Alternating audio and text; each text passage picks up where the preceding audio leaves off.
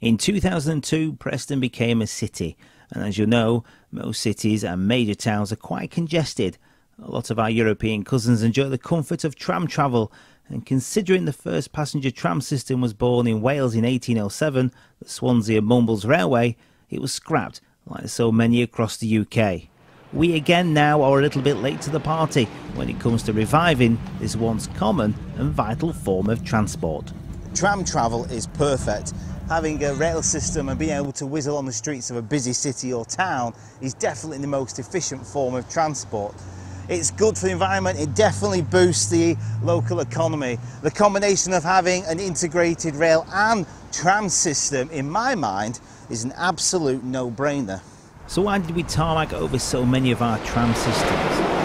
The heavy rail, car was once king, and from the 1930s onwards, it was thought you will be able to travel better and quicker by car or bus in any town or city. Trams, well, they kind of got in the way. And Blackpool was lucky in a way. I think the saving grace was pulled because we had a promenade. It didn't interfere with the impatient car drivers. But we lost a lot of our tram network that was sort of within the town itself. But with Blackpool being a, a tourist destination, maybe the town planners thought it was a good idea to keep the trams on the promenade, and a good job that they did too. And as much as I love the current changes and upgrades in our train travel across the region, trams and buses are deeply rooted in my family. My grandfather, well, he worked for Blackpool Transport before World War II and continued up the ranks to an inspector. His father was a permanent way foreman who was in charge of the navvies who built the tram tracks here in Blackpool. And passenger transport has always fascinated me from a small age, but like with many areas in the UK, it's either been axed or drastically reduced. However, recently within a generation, cities across the kingdom are seeing better transport links, including trams introduced or expanded here, like on the Fylde coast. So the nearest city or town to Blackpool that's got a promise of a tram system is Preston, our friend Preston. Now they had the tram system originally between 1886 and 1934 and again like many others across the country it got scrapped in the idea of using the motor car.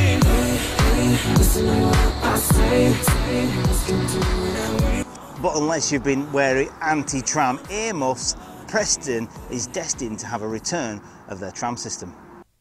The Preston Guild Line, it shall be named, linking up key areas of the city like the university, the hospital, a park and ride system, and the railway station. This is all part of the city transport plans to improve the transport system across the area, connecting the city centre through Deepdale, Brookfield areas to Red Scar Industrial Estate with a park and ride stop.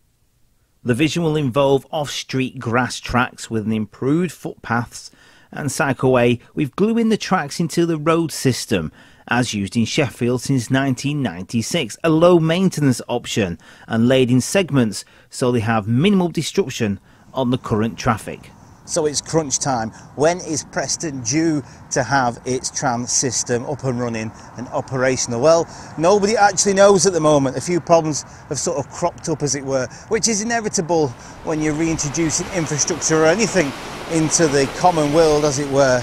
A footbridge at Avenham Park flagged up more than 200 faults, so they had to shut it due to fears of it collapsing, and the chances are it will be replaced, not repaired. Council Plan Office also allowed a chicken factory to extend its premises in the Deepdale area, thus interfering with the tram's test track bed. But that's the nature of the beast, as it were. Nothing is plain sailing when it comes to building or developing any type of new infrastructure. So, okay, so one silver lining out of this is that the developers are looking towards using an old track bed that once ran from Preston to Longridge. A great way of using an abandoned railway line by putting trams on it. And it's not as if Longridge couldn't do with a decent tram connection service to its parent city at Preston.